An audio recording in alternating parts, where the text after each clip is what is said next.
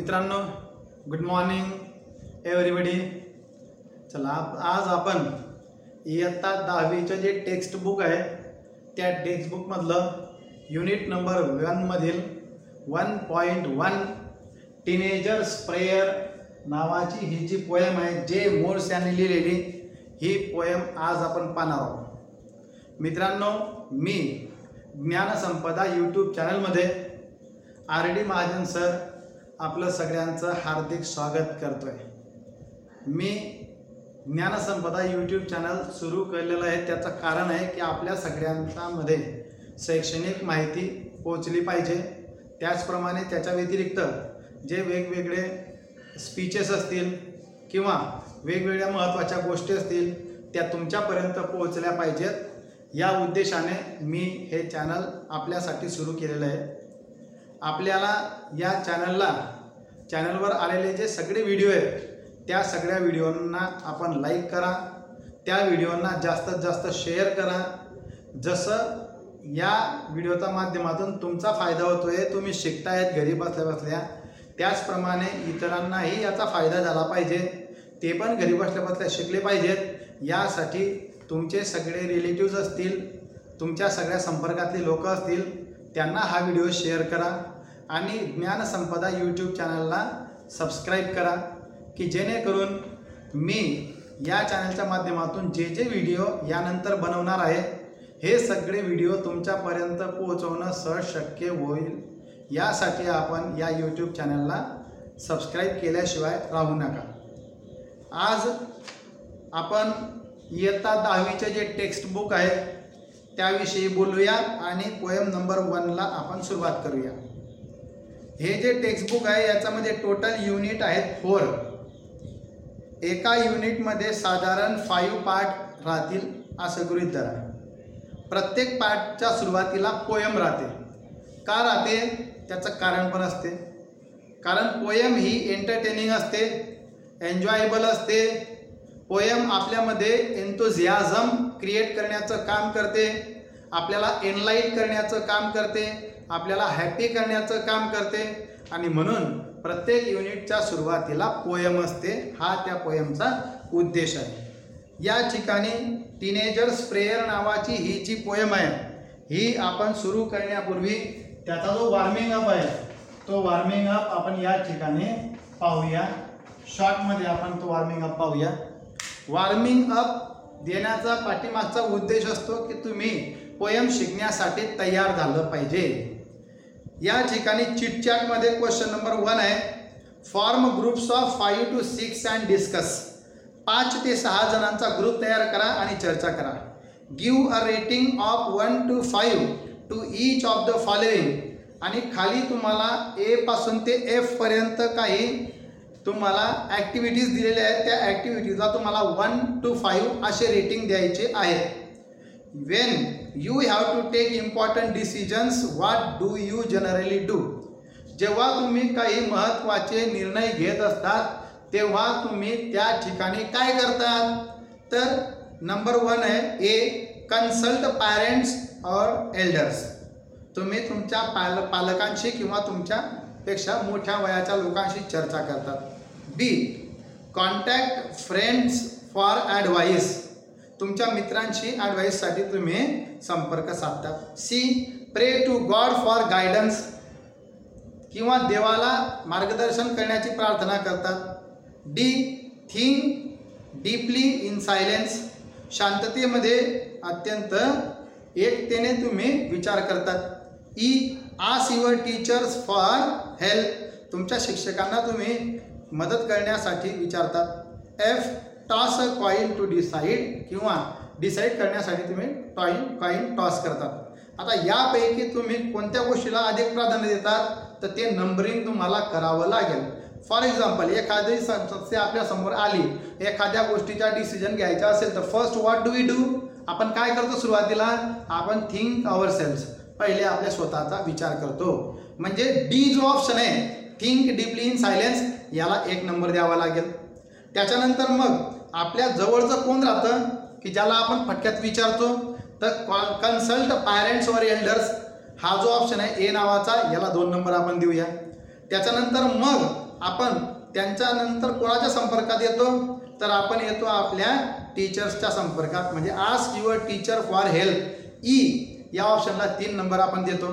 त्याच्यानंतर समजा टीचरला विचारण्याची हिंमत झाली नाही तर आपण आपले जे फ्रेंड्स असतात कॉन्टॅक्ट फ्रेंड्स फॉर ॲडवाईस हा ऑप्शन निवडतो म्हणजे डी म्हणजे याला चार नंबर आपण देऊया. त्याच्यानंतर मग ते पण शक्य झालं नाही तर प्रे टू गॉड फॉर गायडन्स देवाला यासाठी आपण मार्गदर्शन करण्याची विनंती करतो. याला फाईव्ह नंबर देतो मग आपण. आणि toss a coin to decide आणि अल्टिमेटली हे सगळे ऑप्शन जर शक्य झाले नाही तर मग आपण टॉस अ कॉईन असं करत असतो. म्हणजे याला सिक्स नंबर आपण देऊया.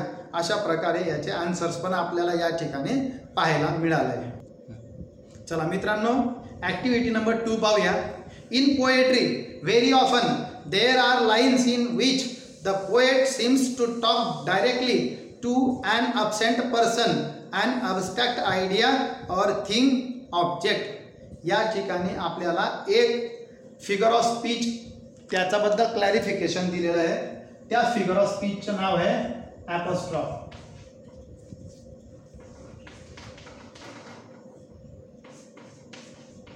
ॲपॉस्ट्रॉफ नावाचा फिगर ऑफ स्पीच विषयी या ठिकाणी क्लॅरिफिकेशन दिलेलं आहे. काय म्हटलेलं आहे की व्हेरी ऑफन कसं होतं की पोएट्रीमध्ये आपल्याला वेगवेगळ्या प्रकारच्या फिगर ऑफ स्पीच पाहायला मिळतात म्हणजे अलंकार पाहायला मिळतात. एक अलंकार असा आहे की जो आपण talk directly to and absent person or abstract idea or thing object आपल्यासमोर हजर नसलेली व्यक्ती किंवा जी व्यक्ती अबस्ट्रॅक्ट आहे जिला आपण पाहू शकत नाही जिला आपण डोळ्यांनी पाहू शकत नाही. अशी जी व्यक्ती असते किंवा थिंग्स असतात वस्तू असतात गोष्टी असतात त्यांना आपण पाहू शकत नाही. अशा वस्तूंशी अशा गोष्टींशी अशा व्यक्तींशी आपण डायरेक्टली बोलतो. म्हणजे त्यांच्या त्यांना उद्देशून बोलतो. असं जेव्हा असेल वाक्यामध्ये तर त्याला ॲपॉस्ट्रॉप नावाचा अलंकार असं म्हणत असतो. तर या ॲपॉस्ट्रॉप नावाचा मराठीमध्ये अर्थ आहे परोक्ष संबोधन. परोक्ष संबोधन म्हणजे एखादी व्यक्ती आपल्यासमोर हजर नाही आहे आणि आपण त्याला संबोधित संबोधित करून बोलतोय. For example twinkle twinkle little star आता लिटल स्टार ही जी आहे ही एक अबस्ट्रॅक्ट आयडिया आहे. त्या पण त्याविषयी त्या लिटल स्टारला ट्विंकल ट्विंकल असं संबोधलेलं आहे. Death where is thy sting death he abstract idea आहे. आणि त्या डेथला उद्देशून बोललं गेलेलं आहे. म्हणून या ठिकाणी ॲपोस्ट्रॉप नावाचा अलंकार आहे. Okay man I wish I could live with you त्याचप्रमाणे. त्याच्यानंतर नाव complete the following creating examples of apostrophe of your own काही आपल्याला एक्झाम्पलची सुरुवात दिलेली आहे. O life how dot dot आता या ठिकाणी आपल्याला ॲपॉस्ट्रॉपची काही एक्झाम्पल्स आहेत आणि त्यांची सुरुवात दिलेली आहे. बाकीचे जे वाक्य आहेत ते आपल्याला तयार करायचं आहे. आपल्या क्रिएटिव्हिटीवर डिपेंड आहे की आपण ते कशा प्रकारचं वाक्य बनवू. Example O life how beautiful you are असं वाक्य आपण त्या ठिकाणी बनवू शकतो. हे फक्त एक एक्झाम्पल मी सांगितलं. बाकीचे जे एक्झाम्पल्स आहेत ते घरी तुम्हाला पूर्ण करायचे आहेत. B A dear God please C A books you are exams I wish O you beautiful sky हे वाक्य तुम्हाला घरी पूर्ण करायचे आहेत. जेव्हा तुम्ही टेक्स्टबुक घेऊन समोर बसतायत त्यावेळेला तुम्ही पेन्सिलीने टेक्स्टबुकवर लिहिलं तरी चालेल किंवा वहीच्या पेजवर तुम्ही टेक्स्टबुकने लिहा एक रजिस्टर करा. त्याच्यामध्ये तुम्ही टेक्स्टबुकवरची ही जी वापूर्ण वाक्य आहे ही पूर्ण करून लिहा आणि माझ्या व्हॉट्सअपला टाका. चला मित्रांनो A teenagers prayer by J Morse ही जी पोयम आहे ही पोयम टीन एज म्हणजे ज्यांचं वय मुला मुलींचं तेरा ते एकोणावीस दरम्यान आहे किंवा नऊ ते एकोणावीस दरम्यान आहे अशा मुला मुलींबद्दलची ही पोयम आहे. या ठिकाणी एक मुलगी जी जी टीन एजची आहे ती प्रेयर करते प्रार्थना करते देवाला. तर या मुलीची जी प्रार्थना आहे it not a individual prayer but it is the representative of all the teenagers in the world ही मुलगी जी प्रार्थना करते ती सगळ्यांची प्रार्थना आहे असं गृहित आपल्याला या ठिकाणी धरायचं the theme of the poem is या पोएमचा मुख्य मुद्दा काय आहे? The theme of the poem is that teenagers have many problems in their age groups. They have to make so many important decisions in this age group. At such a time they have to take consultation of the from the various peoples or various kinds of situations. At that time if not possible for the persons they turn to the god and then they demand advice from the god. And they are also requesting that some of the problems who they want to have take decisions about them they may be wrong or they may be right. But they request god that god should show them the right kind of path in their life. This is the main theme of the poem. या कवितेचा मुख्य मुद्दा आहे की teen age ग्रुपचे जे मुलं मुली आहेत त्यांच्या त्या जीवनामध्ये त्या टप्प्यामध्ये त्यांना अनेक महत्त्वाचे निर्णय घ्यावे लागत असतात आणि ते निर्णय घेताना ते डिलेमा म्हणजे द्विधा मनस्थितीत पडत असतात. ही जी द्विधा मनस्थिती आहे ही त्यांची गेली पाहिजे यासाठी ते त्यांच्यापेक्षा वयाने जास्त मोठे असलेले आणि त्यांच्या जवळच्या असलेल्या लोकांकडून ते सल्ला घेतात. आणि कधी शक्य झालं नाही तर मग ते परमेश्वराकडे वळतात आणि परमेश्वराला प्रार्थना करतात. पाहूया. The poem has five stanzas आणि each stanza have four lines. कविता पाच स्टांजांमध्ये डिवाईड केलेली आहे. प्रत्येक स्टांजामध्ये चार चार ओळी आहेत. पाहूया या ठिकाणी आपण. Each day brings new beginnings. Decisions I must make I am the only one to choose the road that I will take poem ही जी स्पीकर जी आहे ती एक मुलगी आहे की ज्या मुलीचं वय जे टीन एज आहे. ती तेरा वर्षापासून ते एकोणीस वर्षाच्या दरम्यान ती मुलगी आहे. पोएट या मुलीच्या माध्यमातून आपल्याशी बोलतोय. मुलगी म्हणते each day brings new beginnings या वयाच्या टप्प्यामध्ये मला अनेक गोष्टींना नवीन सुरुवात करावी लागत असते. या टप्प्यामध्ये किंवा हा टप्पा माझ्या जीवनामध्ये अनेक नवीन सुरुवातीच्या गोष्टी आणतो. डिसिजन्स आय मस्ट मेक अनेक निर्णय मला या टप्प्यामध्ये घ्यावे लागत असतात. I am the only one to choose आणि या अनेक निर्णयांपैकी मला एक निर्णय निवडावा लागत असतो. आणि तो निवडण्यासाठी मी पण एकटीच असते. The road that I will take कोणता निर्णय? की what what career I should do in my future what I have to do in my life मला माझ्या जीवनात काय करायचं आहे कोणता व्यवसाय निवडायचा आहे ज्या समस्या आल्या त्यांना सोडवायचं कसं आहे? हा that is call the road that I will take असं म्हटलेलं आहे. म्हणजे मला कोणता मार्ग निवडायचा आहे माझ्या जीवनामध्ये? ते मला एकट्याला ठरवावं लागतं किंवा अनेक डिसिजन्सपैकी एक निर्णय मला घ्यावा लागत असतो. आता मित्रांनो या ठिकाणी हा जो पहिला स्टांजा आहे या स्टांजामध्ये चार ओळी आपल्याला पाहायला मिळत आहेत कवितेसाठी असलेले जे डिव्हायसेस असतात त्यापैकी एक फिगर ऑफ स्पीच असतं.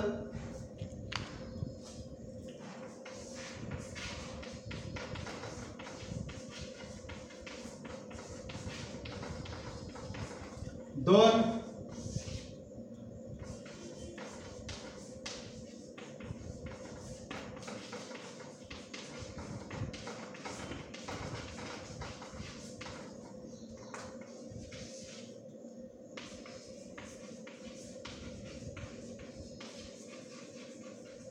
राईम्स एक फिगर ऑफ स्पीच दोन रायमिंग पेअर ऑफ वर्ड्स आणि थ्री राईम स्कीम या तीन डिव्हायसेस हे काय आहेत? हे डिव्हायसेस आहेत. डिव्हायसेस फॉर पोएम कवितेसाठी असणारे हे आभूषण आहेत की ज्यामुळे कविता अधिक जास्त सुंदर दिसते. ज्यामुळे कविता it makes the poem most attractive अजून it also makes the poem beautify अधिक जास्त सुंदर करण्याचं काम अधिक जास्त अट्रॅक्टिव्ह करण्याचं काम हे डिव्हायसेस करत असतात. फिगर ऑफ स्पीचचा एक परिचय आपण घेतला ॲपॉस्ट्रॉपचा ॲपॉस्ट्रॉप नावाचं फिगर ऑफ स्पीच आपल्याला वॉर्मिंग अपमध्ये आलं. त्याच्यानंतर रायमिंग पेअर्स ऑफ वर्ड्स या ठिकाणी रायमिंग पेअर्स आहेत का? पाहूया. शेवटचे जे शब्द असतात त्या सेंटेन्सचे ते पाहिजे beginnings make choose take yes एक पेअर आली. कोणती कोणती पेअर आली? मेक आणि टेक ही पेअर आपल्याला आली. दुसरं आहे स्कीम या कवितेला राईन स्कीम आहे का? पाहूया आपण. जर बिगिनिंग आहे त्याला आपण ये हे अक्षर द्यायचं आहे त्याच्यानंतर मेक मेक यमक जुळतोय का बिगिनिंगला नाही. तर त्याला बी अक्षर द्यायचं. चूज वरच्या दोन याला यमक जुळतोय का? नाही. तर त्याला सी द्यायचं. आणि टे यमक जुळतोय का? हो यमक जुळतोय. कोणाला जुळतोय? मेकला. मग मेकला बी दिलंय तर याला पण बी द्यायचं. म्हणजे या कवितेची राईम स्कीम काय आली? ए बी सी बी अशी या रवी कवितेची राईम स्कीम आली. आणि एक कडव्याला जी राईम स्कीम असते तीच येणाऱ्या सगळ्या कडव्यांसाठी ॲप्लिकेबल असते. चला दोन नंबरचं कडवं आता पाहूया मित्रांनो. I can choose to take the road of life that leads to great success or travel down the darkened road that leads to great distress. I can choose to take the road of life. मी माझ्या जीवनाचा जो मार्ग आहे तो मार्ग मी निवडू शकते that leads to great success कधी कधी काय होतं की मी जो मार्ग निवडते निवडतो तो ग्रेट सक्सेसला पोहोचवणारा असतो किंवा मी जो मार्ग निवडतो तो ग्रेट सक्सेसला पोहोचतो. और travel down the darken road कधी कधी असं होतं की मी जो मार्ग निवडतो तो travel down the darken road या ठिकाणी डार्कन याला डार्क केलेलं आहे बोल्ड केलेलं आहे काय याचा अर्थ? आपल्याला राईट हँड साईडला पुस्तकामध्ये त्या ठिकाणी हायलाईट केलेलं आहे darken here it refers to evil म्हणजे इव्हिल म्हणजे बॅड अशा गोष्टी. कधी कधी आपण निवडलेला मार्ग हा ग्रेट सक्सेसला पोहोचतो तर कधी कधी तो वाईट गोष्टींकडे सुद्धा पोहोचून जात असतो. That leads to great distress and if it reaches to the darken road जर तो रस्ता डार्कन भागामध्ये गेला इव्हिल भागामध्ये गेला बॅड साईडला गेला रॉंग साईडला गेला तर what do you feel we leads that leads to great distress आपल्याला खूप मोठा पश्चाताप होतो. आपल्याला खूप मोठी वेदना होते. आपण खूप दुःखी होत असतो. डिस्ट्रेस म्हणजे काय? ग्रेट वरी अँड स्ट्रेन असा त्याचा अर्थ आहे. आपल्याला जीवनामध्ये खूप दुःख होत असतं. या ठिकाणी कवीने सांगितलेलं आहे की आपण जो मार्ग निवडतो तो यशालाच जाईल याची गॅरंटी नाही. कदाचित तो अपयशाला पण जाऊ शकतो चुकीच्या मार्गाला पण जाऊ शकतो. Please open up my eyes dear God that I my clearly see म्हणून ही मुलगी देवाला परमेश्वराला प्रार्थना करते आहे. काय म्हणते? प्रार्थनेमध्ये ती please open up my eyes dear Lord that I my clearly see देवाला म्हणते की कृपया देवा माझे डोळे उघड की जेणेकरून मी सगळं काही स्पष्टपणे पाहू शकेन. माझे डोळे उघड की जेणे काही सत्य काय आहे ते मी व्यवस्थितरित्या पाहू शकेन. पहा मित्रांनो जसं आपण ॲपॉस्ट्रॉपमध्ये पाहिजे पाहिलं की नाही की अबस्ट्रॅक्ट आयडिया समोर असतील ॲबसेंट व्यक्ती समोर असेल आणि त्याला उद्देशून जर आपण बोलत असू तर अबस्ट्रॉप नावाचा अलंकार होतो. तर हे वाक्य त्याच एक्झाम्पलचं आहे. पहा please open up my eyes dear Lord लॉर्डला संबोधून तो बोलतोय. देवाला संबोधून तो बोलतोय. देव परमेश्वर त्याच्यासमोर आहे का? नाही. पण तरी सुद्धा तो संबोधून बोलतोय. परोक्ष संबोधन. या ठिकाणी अलंकार झाला apostrophe help me stand for what is right bring out the best in me तो ती मुलगी म्हणते की देवा परमेश्वरा मला मदत कर. कशासाठी मदत कर? Stand for what is right जे योग्य आहे जे बरोबर आहे जे सत्य आहे त्याच्या बाजूला उभं राहण्याची ताकद मला दे.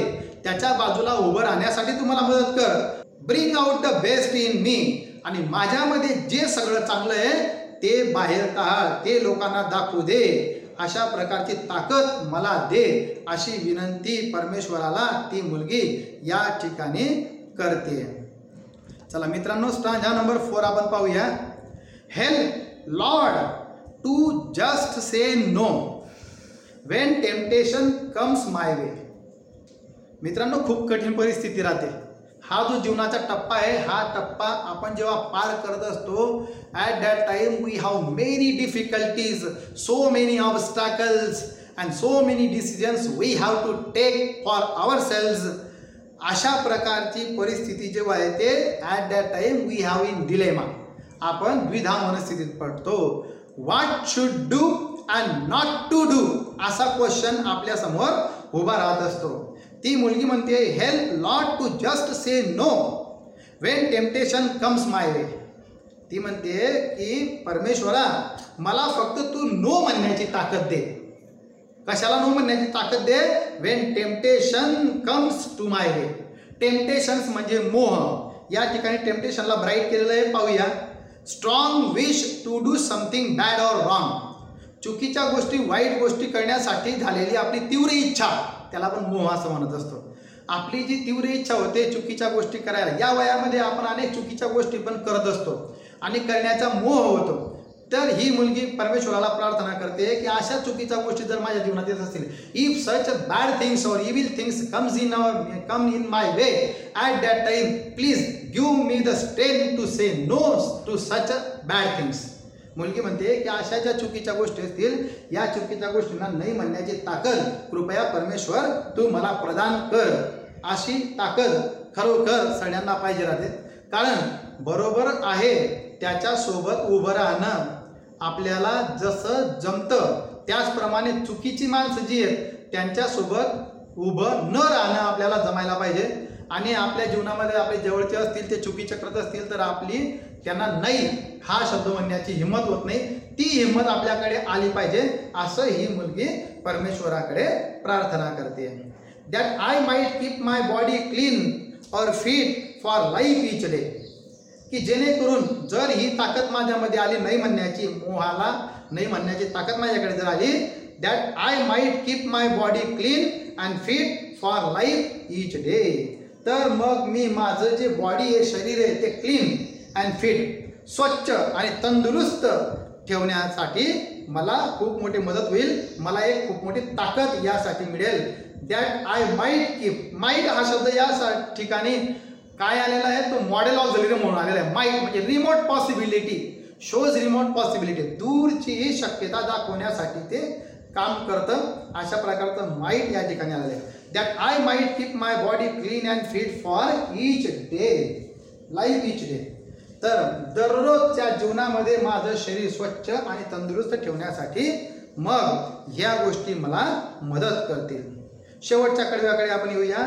When my teenage years are over माझं हे जे टीनेज इयर आहे माझं हे किशोरवयीन जे वय आहे हे जेव्हा संपून जातं I know that I will see that life is dude it's very best with you walking next to me माझं जे टीनेज वय आहे ते जेव्हा संपून जातं ते जेव्हा निघून जातं तेव्हा मला कळतं की मी जीवनात ज्या ज्या काही चांगल्या गोष्टी केल्या त्या सगळ्या चांगल्या गोष्टी का होऊ शकल्या?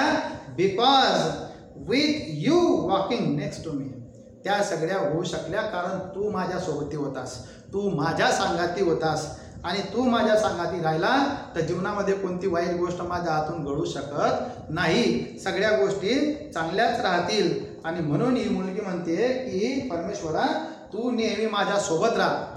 तू नेहमी माझ्या शेजारी राहा. माझ्यासोबत चल मला नेहमी वाईट गोष्टी करत असेल तर मला तू त्या ठिकाणी सुचव आणि चांगल्या गोष्टी करण्यासाठी प्रवृत्त कर. अशा प्रकारची प्रेयर या ठिकाणी या मुलीने केलेली आहे. या मुलीची असलेली जी प्रेयर आहे ही म्हणजे आपल्या किशोरवयीन अवस्थेमधल्या सगळ्यांची जी प्रार्थना आहे ती हीच प्रार्थना आपल्याला या ठिकाणी पाहायला मिळते पुन्हा एकदा सांगतोय की ज्ञानसंपदा चॅनलला आपण सबस्क्राईब करा. की जेणेकरून माझे जे येणारे सगळे व्हिडिओ आहेत आपल्याला सगळे व्हिडिओ पाहणं शक्य होईल. आणि कोणताही व्हिडिओ तुम्ही माझा ओपन केला तर विनंती राहील तुम्हाला की पहिल्यापासून ते शेवटपर्यंत तो व्हिडिओ पूर्ण पहा. त्या व्हिडिओला लाईक करा आणि आणखीन दुसरे जे इतर तुमच्या कॉन्टॅक्टमध्ये असलेले सगळे त्या सगळ्यांना तो व्हिडिओ फॉरवर्ड करा आणि ज्ञानसंपदा चॅनलला सबस्क्राईब करा. नमस्कार.